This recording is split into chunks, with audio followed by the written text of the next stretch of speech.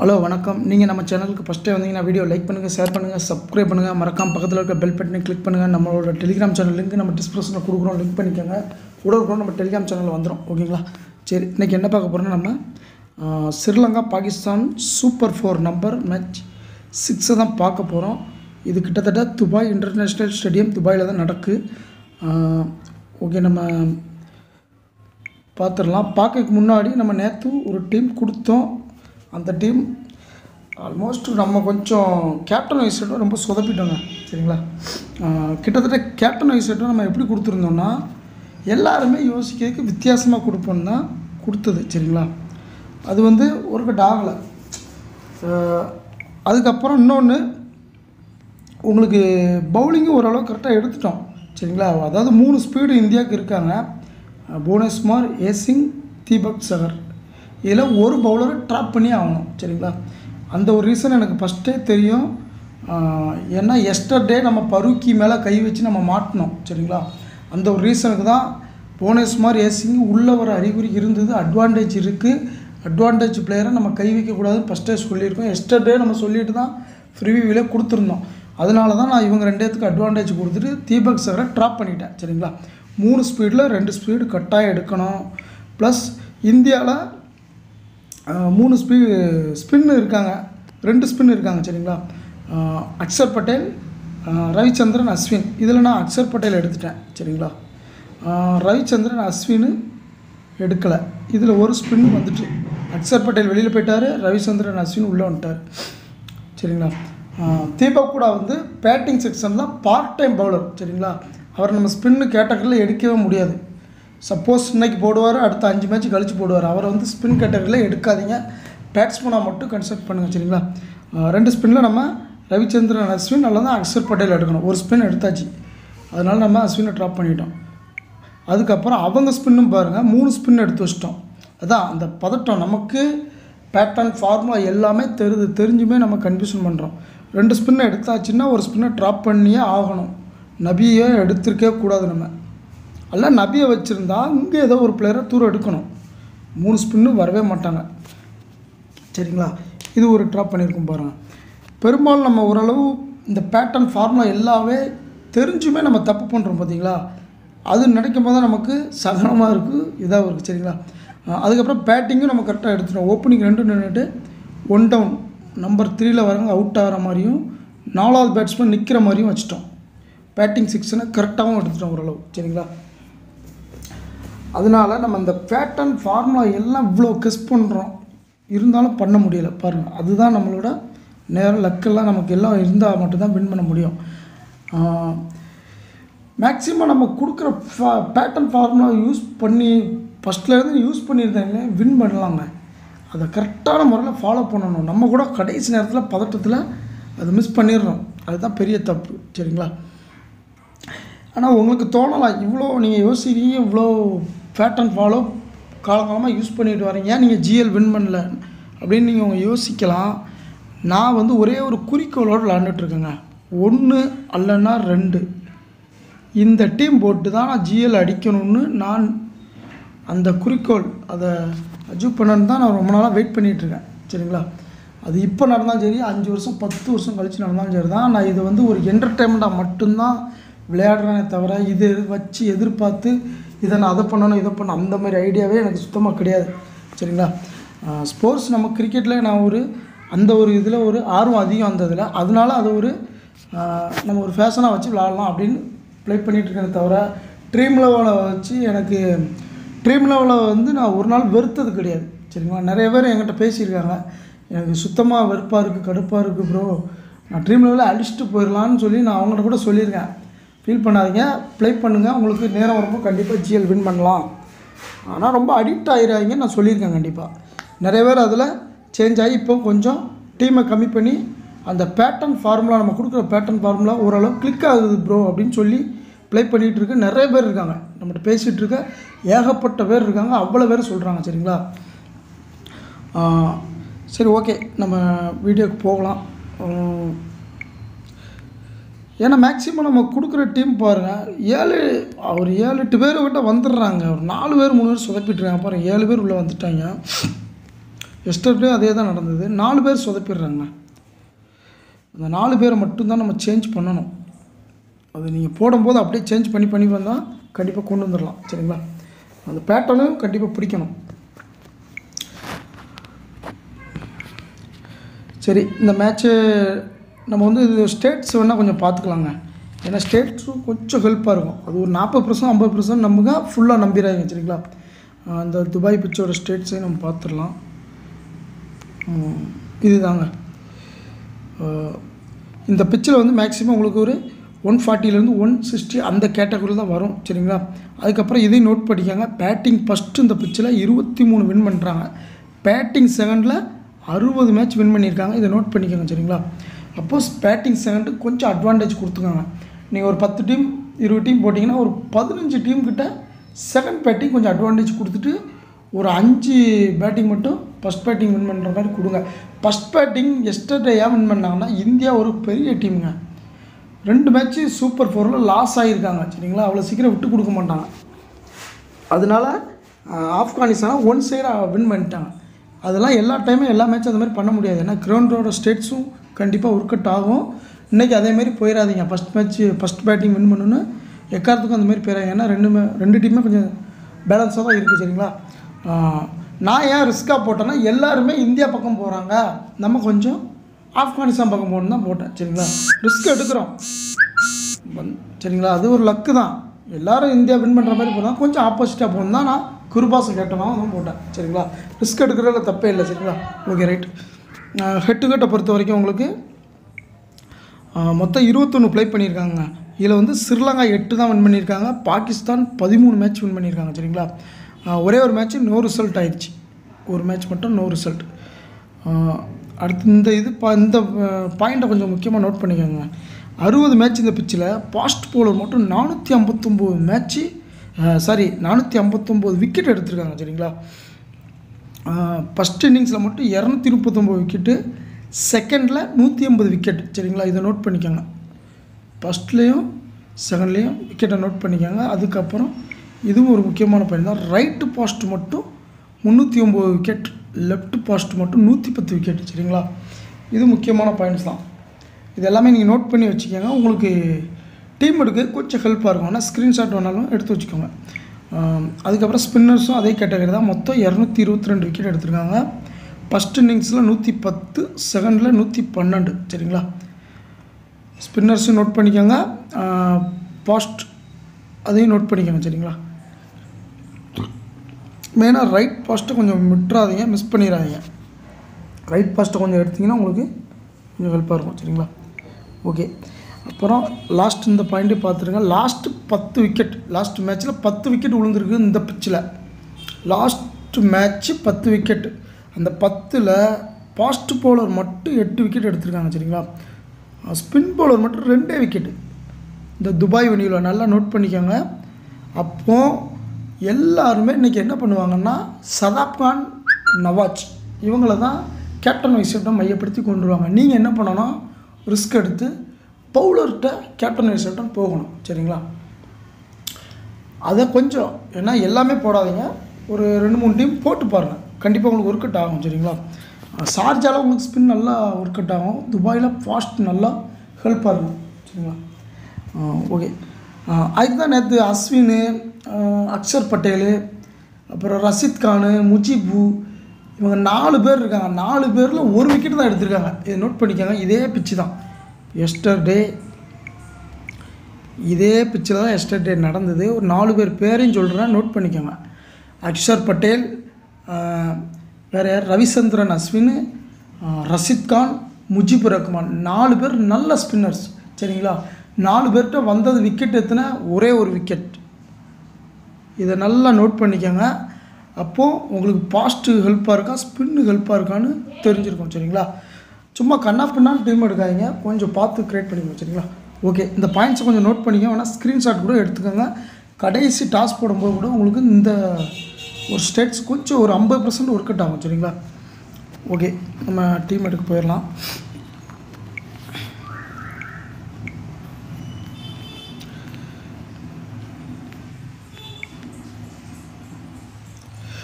First நீங்கள் வந்து நம்ம பேட்டர்னே ஃபாலோ பண்ணிடுங்க முகமது ரிஸ்வான் எடுத்துக்கோங்க. முகமது ரிஸ்வான் குஷால் மெண்டிஸ். ஹை பர்சன்டேஜ் எல்லாம் எடுத்துருங்க. பத்து நிஷாங்கா. ஆல்ரவுண்டர் செக்ஷனில் சதாப் கான். நஷீம் ஷா. அஞ்சு பேர் இருக்காங்க. இதில் மூணு பேரை கொண்டு வந்துருங்க. கண்டிப்பாக அதில் மூணு பேரை கொண்டு வந்துடுவேன் நீங்கள் யாரை சூஸ் பண்ணாலும் சரி தான் ஏன்னா நம்ம டிக் பண்ணி அதை நீங்கள் எடுத்து ஆப்போசிட்டாக இருக்கக்கூடாது. உங்களுக்கு மனசில் தோன்ற பிளேயரை எடுத்துருங்க. நம்ம டெலிகாமில் கொடுக்குறதையும் பாருங்கள் கொஞ்சம் சேஞ்சஸ் பண்ணிக்கோங்க சரிங்களா?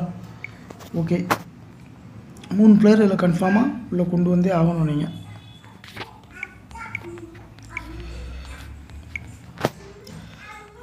இப்போ நம்ம முகமது ரிஸ்வான் எடுத்துக்கலாம்.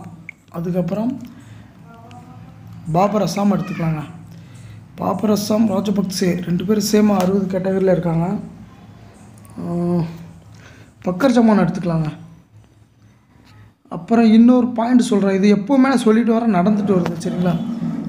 மொத்தம் நாலு பேர் இருக்காங்க சரிங்களா? இந்த பாருங்கள் இப்படி வச்சுக்கிறேன். குணத்திலகா அஷிப் அலி சரித் அசலங்கா கே ஷா குஸ்தில் ஷா. இந்த நாலு லோ ப்ரெசண்ட்டும் வெளியில் போகாது. ஆசியா கப்பில் நான் பல தடவை பல வீடியோ ப்ரிவியூவில் கொடுத்துட்டே வரேன். கரெக்டாக ஒர்க் ஆகிருக்கு ஏதோ ஒரு பிளேயர் வந்து டிஸ்டர்ப் பண்ணிகிட்டே இருக்காங்க சரிங்களா? ட்ரீம் லெவலில் டிஸ்டர்ப் பண்ணிகிட்டு இருக்காங்க. அதை கரெக்டாக நம்மளும் எடுத்துகிட்டு வரோம். கரெக்டாக ஒர்க் ஆகுது. இப்போது இதில் இன்னொரு க்ளூ நான் கொடுத்துட்றேன் உங்களுக்கு. ஃபஸ்ட்டு பேட்டிங் இப்படி பட்சத்தில் கேஷாக உள்ளே வர வாய்ப்பு அதிகமாக இருக்குது சரிங்களா? ஏன் அப்படின்னா ஒன் ஆர் டூ விக்கெட் விழுந்தாலும் நம்பர் ஃபோரில் போன ட்ரிப் இறக்கி விட்டு ஆடி ஆடி இருக்காரு சரிங்களா? அதனால பேட்டிங் ஃபஸ்ட்னா இந்த லோ பிக்கில் கேஷாக எடுத்துக்கோங்க. பேட்டிங் செகண்ட் அப்படின்னா அவரை எடுக்காமல் சரித்து அசலங்க எடுத்துக்கோங்க சரிங்களா? இவர் ஒரு நல்ல பிளேயரு இவர் வந்து சரியான நாக்கு வரல. இவருக்கு இன்னொரு பெரிய அட்வான்டேஜும் இருக்குது இவருக்கும் பாபர் அசாமுக்கும். என்றைக்கெல்லாம் ட்ரீம் லெவலில் ஆல் ஃபார்மெட்டில் சரிங்களா? நான் சொல்கிற பொதுவாக ஆல் ஃபார்மெட்டில் ட்ரீம் லெவலில் அஞ்சு ட்ரிப்பு உள்ளே வராமல் இருப்பாங்க. அஞ்சு ட்ரிப்பு நாலு ட்ரிப்பு சாரி பாருங்கள் ஆரம்பிச்சதுலேருந்து இவர் உள்ளே வரல. ஒன்று ரெண்டு மூணு நாலு ட்ரிப்பு வரல அஞ்சாவது ட்ரிப்பு இந்த அஞ்சாவது ட்ரிப்புங்கிறது ஒரு திருப்புற மாதிரி தான் ஒரு மேட்சை சரிங்களா? அஞ்சு ட்ரிப்பு செல்லவங்க வந்தாங்க ஆறாவது ட்ரிப்பு வரவே மாட்டாங்க. இது எல்லாமே ஒரு சின்ன சின்ன ஸ்டேட்ஸ் தான் சரிங்களா? சைக்காலஜி அது நடந்துட்டு வருது ட்ரீம் லெவலில் இவர்கிட்டையும் இதுவும் அதே கேட்டகரி தான். இவர் ஒன்று பாபரசாமும் இதே கேட்டகரியில் தான் இருக்கார். நாலு ட்ரிப்பாக ட்ரீம் லெவலில் வரவே இல்லை சரிங்களா? இவங்க ரெண்டு பேரும் நீங்கள் இம்பார்ட்டண்ட்டாக கொண்டு போய்க்கலாம். தாராளமாக எடுக்கலாம். சரிங்களா? நீங்கள் வந்து இப்போ இவங்க சரி ஸ்ரீலங்கா ஃபஸ்ட் போயிட்டிங்கன்னா அசலங்காவை கண்ணை மூடிட்டு எடுத்துருங்க. செகண்டுன்னா கேஸாவை எடுத்துருங்க. ஏன்னா செகண்ட் ஃபஸ்ட்டு பாகிஸ்தான் பிடிச்சா கேஸா நம்பர் ஃபோரில் வந்து விளாட வாய்ப்பு அதிகமாக இருக்குது அவரும் உண்டு நவாஜும் உண்டு. நவாஜும் அதே சேம் தான். அவரும் வந்து திடீர்னு நம்பர் ஃபோர் ஃபைவ்ல இறங்குறாரு. சரி கேஷா கீழே இறங்க வாய்ப்பு இருக்குது சரிங்களா? ஒரு ட்ரிப்பு இறங்கி குயிக்காக ஒரு நாற்பது ரன் அடிச்சிருக்காரு. ஒரு விக்கெட் எடுத்து வந்திருக்காரு. நோட் பண்ணிக்கோங்க சரிங்களா? ஓகே அந்த சொன்னது யாவும் அந்த நாலு லோ பிக்கில் ஏதோ ஒன்று உள்ளே கொண்டு வந்துருங்க. சரிங்களா?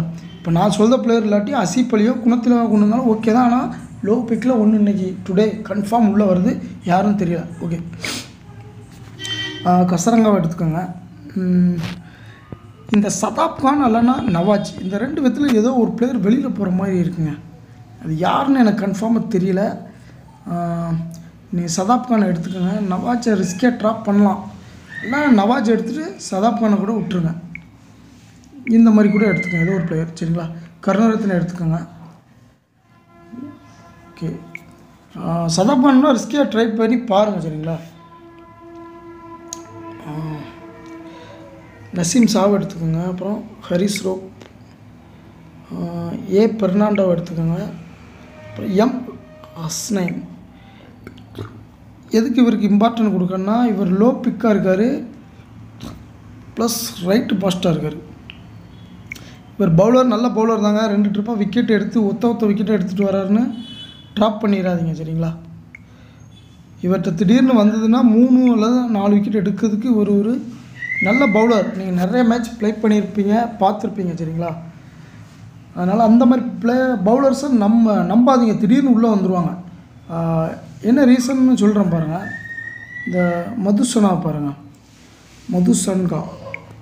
இவரை பாருங்கள் எல்லாருமே ட்ராப் பண்ணாங்க. இந்த ரெண்டு மேட்சாக விக்கெட்டே வரலன்னு. அப்புறம் நம்ம ரிஸ்கே கூட அவர் வச்சா ஆனால் அறுபத்தி ரெண்டு பாயிண்ட் தான் வந்துச்சு. அடுத்த மேட்ச் ட்ராப் பண்ணிட்டான். ஆனால் இந்த ரெண்டு மேட்சாக வரலன்னொன்னே அடுத்த மேட்ச் எப்படி பெர்ஃபார்ம் பண்ணியிருக்காரு பாருங்கள் அதனால தான் எந்த பிளேயரும் லேசாக நினைக்காதீங்கன்னு நான் சொல்ல வந்தேன். ரைட் பவுலருக்கு அட்வான்டேஜ் இந்த பிச்சில் அதிகமாக இருக்குது அந்த ஒரு ரீசனுக்கு தான் உங்களை நான் எம் கஸ்னேனை இம்பார்ட்டனாக கொடுங்கன்னு சொல்லியிருந்தேன். சரிங்களா? அவர் ஒன்று ஏ பெர்னண்டோ இவரும் ரைட் பாஸ்ட் தான்.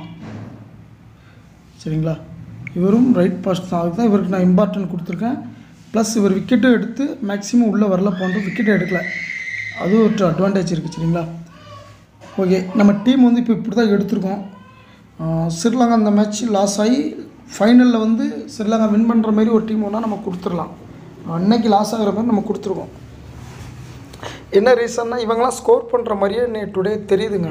அந்த ஒரு ரீசன்காண்டி இவங்க லாஸ் ஆகிற மாதிரி எனக்கு தோணுது மைண்டில் உங்களுக்கு எப்படி தோணுதோ அந்த மாதிரி போட்டுக்கோங்க சரிங்களா?